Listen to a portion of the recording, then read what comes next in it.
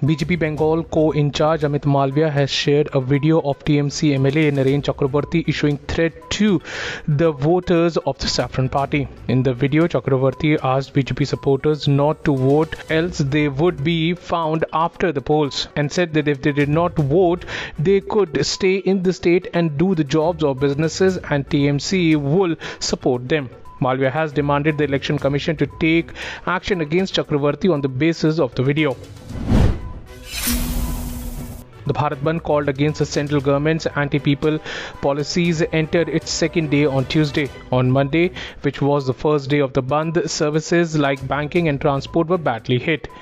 The strike has been called by a group of trade unions which have voiced concern over several government policies calling them anti-worker and anti-farmer. India will set up a hybrid power project in the three islands of Jaffna, effectively replacing Chinese venture cleared by Colombo last year. The MOU of the project was among the signed during the meeting between the visiting External Affairs Minister S. Jaishankar and his Sri Lankan counterpart G. L. Peiris late on Monday. It is the third Indian energy project coming up in Sri Lanka's north and east.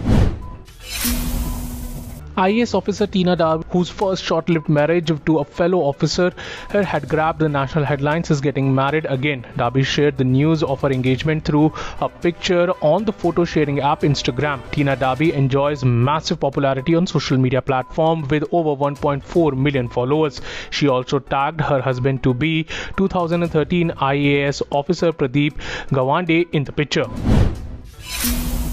A Delhi court on Monday granted bail to Bully Bai app case accused Neeraj Bishnoi and Sulli Deal app creator Omkareshwar Thakur on humanitarian grounds. The court considered that the accused are first-time offenders and continued incarceration would be detrimental to their overall well-being. Meanwhile, the court had imposed strict conditions on the accused person so that they could not threaten any witness and tamper with any evidence.